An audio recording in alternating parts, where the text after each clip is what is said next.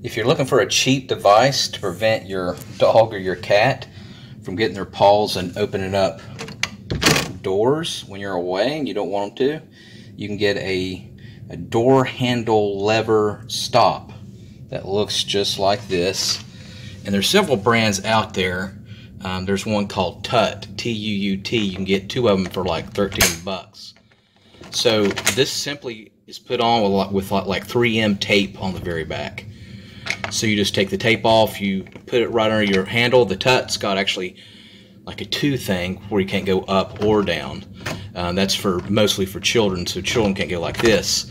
But this is adequate for dogs, so they won't get their paws and do that. And the only thing you have to do to unlock it is just simply push down on this button here, and then you're able to open. And then vice versa, to open it, you just push here and open back up.